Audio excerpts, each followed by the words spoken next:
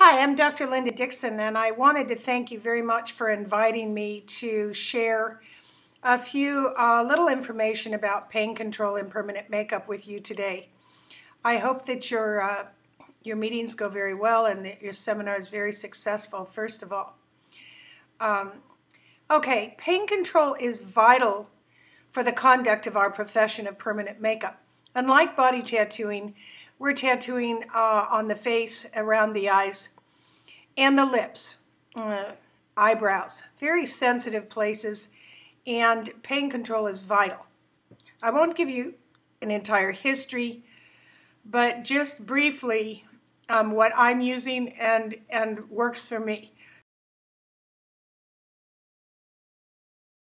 Okay, let's start at the top and work down. For eyebrows, I go ahead and I, I buff them with a fine uh, buffing brush. I buy it at Sally's. You can buy them at Sally's. They're for fingernails. They're very fine. You just want to remove the dead skin on, on the uh, epidermis. So I buff those and then I will put on for 20 minutes some um, comfort cream. Now, comfort cream has tetracaine, lidocaine, and epinephrine. And uh, after 20 minutes, I remove one. Uh, well, let's talk eyebrows. I remove the comfort cream, clean the skin. You can use alcohol. And then you design your brow. You get your client's okay and make your marks, whatever you're going to do, and whether you do um, single needle beautiful hair strokes or whether uh, some other technique, go ahead and start and then have ultra duration there. Ultra duration seeks, um, goes into the skin very quickly. It also um, compresses the dermis. It takes out any uh, edema or swelling. And, and it controls the pain beautifully, so you get a nice uh, result. Find that sweet spot. I also use Numb Pot to maintain the numbness on the brow and and uh, also to clean the skin because it cleans off the pigment. Okay, let's go to eyeliner. Uh, I use comfort cream for 20 minutes. Um, put it on the upper crease of the eyelid and then a bead across the eyelashes and just blend them together. Um, the way, the reason I say to do that, because if you just struggle putting it along the eyelashes, you're going to get it in the eye. The eye's going to start watering because topical anesthetics sting. Uh, if they're the proper pH, they won't burn the eye, but it still stings. So keep topical anesthetics out of the eye that way. Set your timer for 20 minutes, no occlusive dressing on the eye. At the end of your 20 minutes, uh, depending on your style, I can tell you what I do. I remove one side.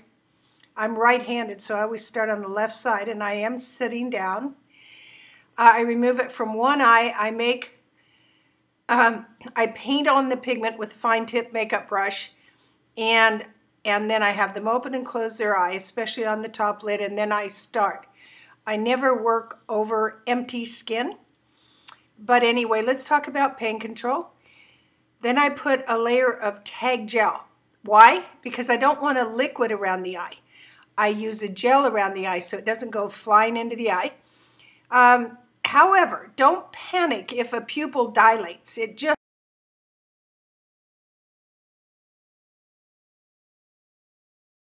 means that uh, some local anesthetic got into the eye, excuse me, and, um, and dilates the pupil because epinephrine will do that.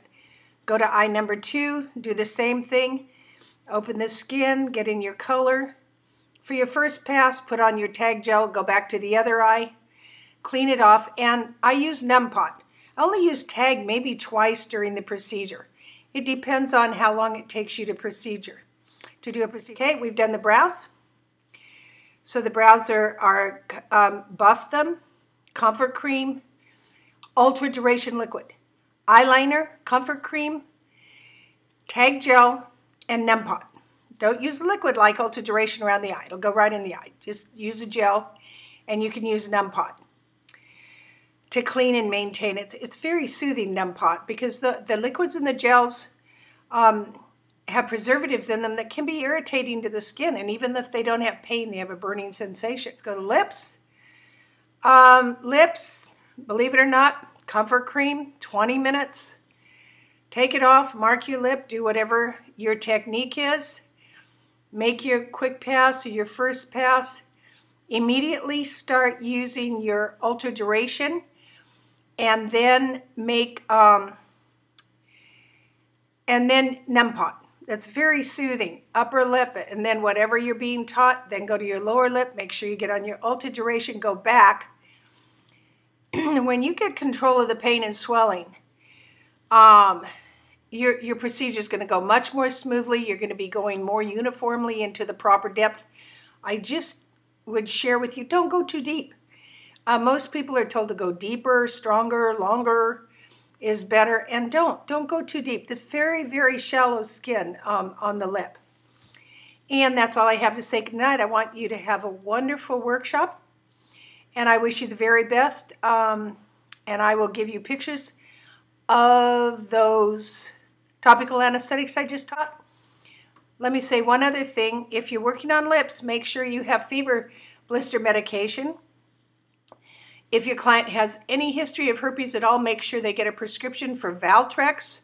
They can take three pills, each pill 500 milligrams.